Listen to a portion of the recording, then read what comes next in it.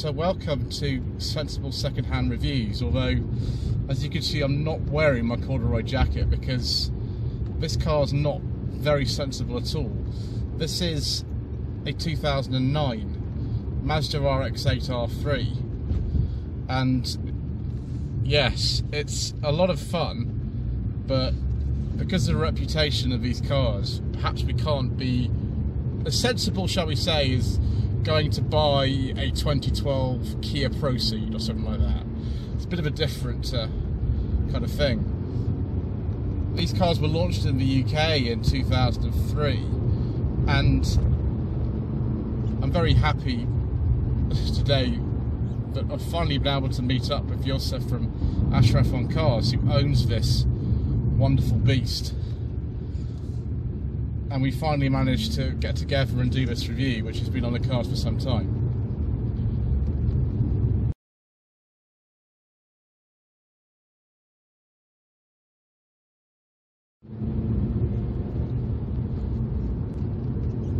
So the RX-8 was unfortunately discontinued for our market in about 2010, and this R3 model is the final iteration of the RX-8 for our market. It's got a six-speed manual gearbox, and develops in this particular application about 230 horsepower. Sometimes there are different figures quoted, but it's about 230 in this car. This is the six-port um, engine. There was also a four-port engine until uh, the facelift, which occurred in 2008, and that developed about 189 horsepower. There was actually an automatic version available, and I think um, with the four-port engine, the 189, that also came with a five-speed manual, not a six-speed manual at various points. The steering is sublime. It's absolutely wonderful. Rear-wheel drive balance at its best. And I've heard you can get the tail out on these rather easily. And in fact, Mr. Ashraf has got the tail out on one of these on the video on his channel, and I will link to in the description below. So prices of these of these cars are mainly within the sensible second-hand reviews remit, so they are between about one thousand and five thousand pounds for an exceptional model. You might pay six to seven. Uh, something like this, it, it, it's pretty near the top, I would say. Might even actually be more than five thousand for one of these. But yes, we only cover really cars that you can buy between one and five thousand, and um, yeah, this fits the bill at the moment. RX-7s, any type of RX-7, there were various generations, of course, of those made. Um, they are very much out of sensible second-hand reviews money now, so it, this is um, an affordable car. Whether it's a sensible car or not, I think we'll, uh, you know, go for a review and uh, sort of see whether or not it is.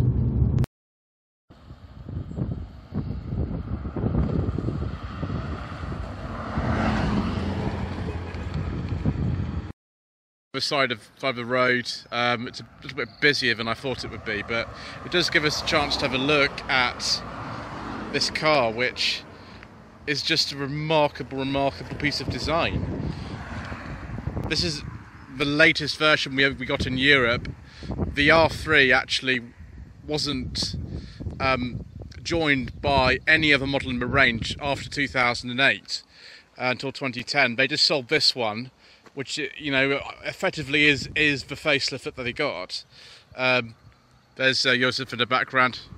Hello, sir. Um, this car has actually been in the family for a little while. Um, the trade plate in the front is because um, it's going up for sale quite soon, and uh, Yousuf's father has a has a dealership, um, so it's just a little bit cheaper to, to uh, not pay the tax for like a month or something whilst it's um, whilst it's up for sale. That's why the trade plate's in it.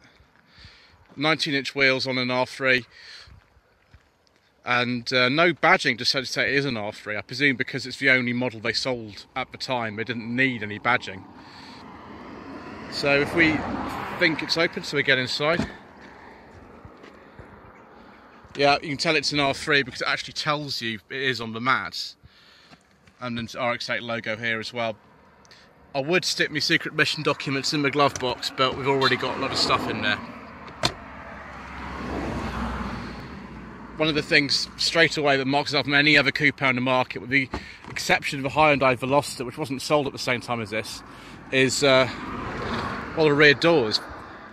Yousuf and I were discussing this earlier, but there is absolutely no way, no way at all that if you close this door from me inside, I'm not going to get in the back because I can't be bothered really today. Um, you, you you can't close the front doors. It's it's just not it's just not possible. So you're going to have to rely upon others driving to get you get you in and out. Really, um, if you're doing that.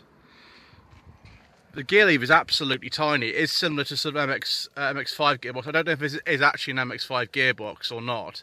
It might actually be different. Um, obviously, both cars are rear-wheel drive. One thing I noticed as well is we've got some very large cup holders in the middle. Obviously, that's sort of American market stuff. The dashboard's typical Mazda of the mid 2000s. The sort of Mazda 3 and things looks a bit similar to this in a Mazda 6. I recognise these door pulls and switches from somewhere as well. We have actually got a bit of soft touch material on top of there. Uh, dual front and uh, side airbags, of course, you're going to need them in a car like this, and Recaro seats as well. Let's go on the other side. Wow, it, does it does look just remarkably aggressive. Very, very aggressive indeed. You don't really want that coming up behind you because you are going to get swallowed up and overtaken. Mirrors are interesting as well.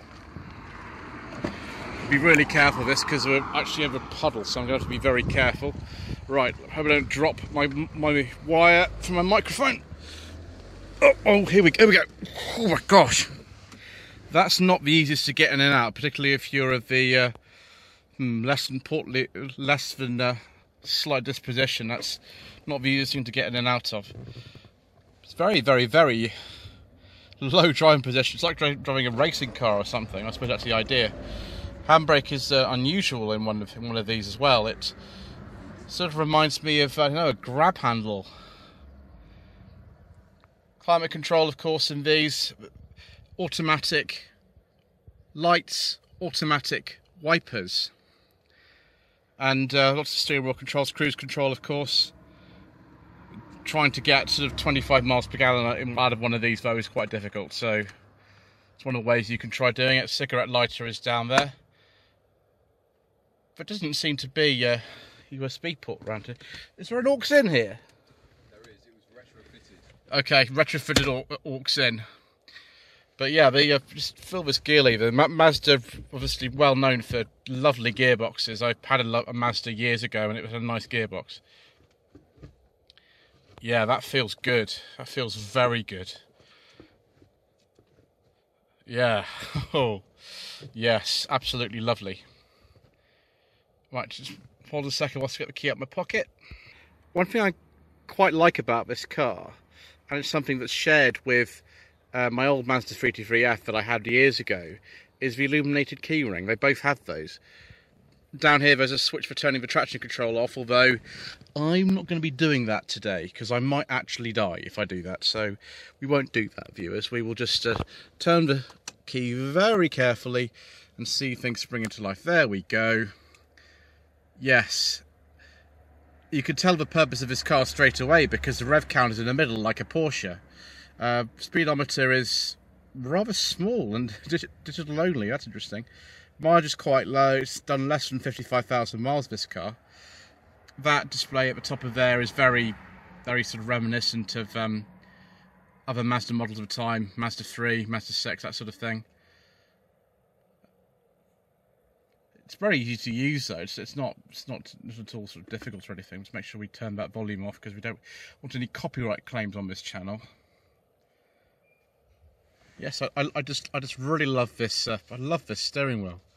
It's really thin. It reminds me of a much older car. A couple of other cars that uh, that Yousuf has are from the uh, sort of late 60s, early 70s, and both of them have lovely, lovely thin steering wheels. So maybe that's uh, maybe that's why they bought one of these in the first place. Bose uh, audio system in this. Just pull the door a little bit shut. There we go door cards are sort of interesting. I mean, you actually get some sort of um, some kind of textured, which I think it's slightly soft as well. Nice sort of fabric on here, and then a bit of leather. Only two electric windows. The rear ones are not electric. They sort of pop out as well. And there's the electric mirror switch. Sort of eyeball style air vents as well. The overall driving position is very, very low in this car. It, it's it it certainly feels very purposeful. And uh, yes, it very supportive seats as well. Although, yeah, I think I have to visit the gym a bit in order to fit in these seats properly. Okay, apparently I can open this by using this bit on the key. Yes, excellent. Boot is about, I think, about 280 litres. It's about the same as sort of a Vauxhall Corsa of the time or something like that. Got this big sort of step down here though, and the shape is a bit strange, although that is a ski hatch, so you could pass things through there um, if you needed to go soaring down in the south of France or something like that. And of course, you've got a little master cover for the oil, which you will be needing because the, the rotary engines do use a bit more oil than a standard piston one. And you need to make sure you check that quite frequently, of course because this is an R3 we get this uh, sort of spoiler on the back as well and rear visibility I, I notice isn't great so I'm very grateful this car's actually got parking sensors on it. Excellent, well let's have a look at this uh, Renesis 2 engine. So here we have the famous Renesis or uh, Wankel rotary engine. I think uh, up until the present day uh, and uh, the Mazda MX-30 which I, I think is going to come with a range extender, which might be a Wankel. This is the last car that came with a Wankel engine. Nominally 1.3 litres in capacity, but it's not the same as a piston engine anyway. Uh, there's not an awful lot to see under here. Uh, it looks just like any other sort of modern car does. These develop about 230 horsepower. It really depends on the year and the market and things like that. Um, there was a lower power version with uh, four ports as opposed to six ports like this. With the R3 and the other facelifted cars around the world, because it was sold until 2012 in some markets, our market till 2010 because of Euro 5 emissions, it wouldn't meet. It, this is called the Renesis 2 engine and it is an improved version, however, it still has um, problems, shall we say. Um, and sometimes rebuilding the cost of the engine, which uh, you have to tell me is about two and a half thousand pounds on one of these, is more than the cost of a lot of these. Now this is a, a later car, so it is worth a fair bit more than that. So if that were to happen to us, it would be worth doing it. And I'm sure, like an RX-7, which is crazy money these days for an RX-7, um, these will increase in value. But at the moment, they are very affordable, and that's why we're covering it on Sensible Secondhand Reviews.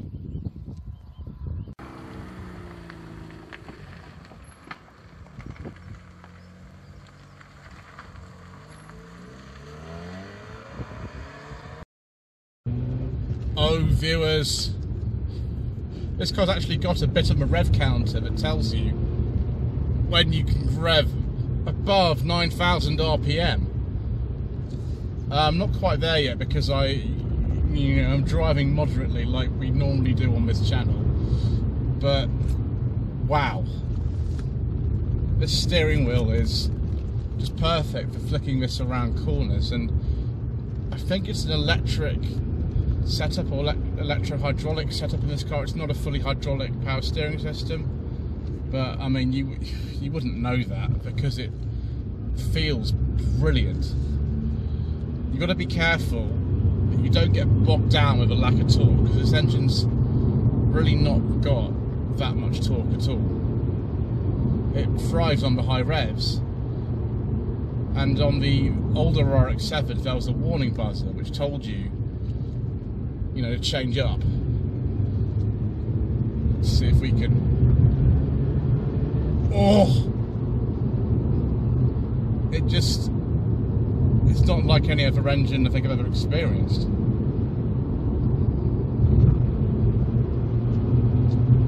We're still not exceeding the speed limit here. We are being respectful of the limits, but now we've got onto the roads a little bit smoother. it's possible to exploit this chassis a bit better. And this being an R3 model, it's got a, a foam-filled cross member. It's got different suspension from the earlier cars, and it feels glorious. Just even the noise of the engine is, is fantastic. Brakes, exceptionally good. He also told me that he um, uses this car on track days. Excuse me, I'm just. Uh, yes, we'll have a bit more of that noise, please. That's uh, very good. the main problem is, though, but we, we haven't got a lot of headroom in here. I'm, I'm not particularly tall. I'm shorter than Yousuf is, and I'm sort of struggling a bit here even for the, headroom. I mean, you know, we're not talking about you know width the seat here. You know, maybe later we might talk about that, but just the headroom is is not great. But oh my gosh! yes, please. That is fantastic. Uh, yeah. What a shame I've got to give this go and give this car back now.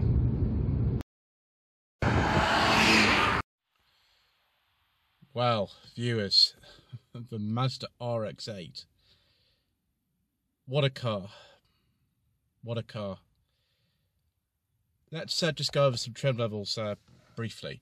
Now, this car's not actually badged as an R3, I think because it was the only type sold in Britain after the middle of 2008. It's, it comes up on, I think, a lot of sort of, um, you know, sort of check sites and things. This is a standard RX, RX-8, and that's how a lot of them were sold. But there was a special edition. There was the PZ, which is a bit more aggressive like this one. The Evolve, the Kuro, which I think means black in Japanese. Uh, the Nemesis, that was, was UK um, market only car. And uh, then the uh, 40th anniversary, and of course this one. This really isn't a car that you could possibly even consider wearing this corduroy jacket in. So that's why we haven't been wearing it today. It's not a sensible car. Is it a great car? Well, I think it is. These cars are really cheap. I mean, the sort of no budget reviews days of these is coming to an end now, but they are just a fundamentally wonderful car. Yes, like a KV6 engine Rover, there are one or two things you've got to be aware of, but it's just joyous, really. I'm so grateful to Yousuf for giving me the opportunity to uh, actually drive his car that he's that he and his family have had for a few years, and who knows, maybe one of you will uh, own it one day as well. So thank you ever so much indeed um, for watching this episode of Sensible Secondhand Reviews. Thank you again to Yousuf from uh, Ashraf on Cars for supplying the, the uh, RX-8 for review today. Please don't forget to subscribe to channel, turn on notifications. Um, the social media links are in the description below. Thank you.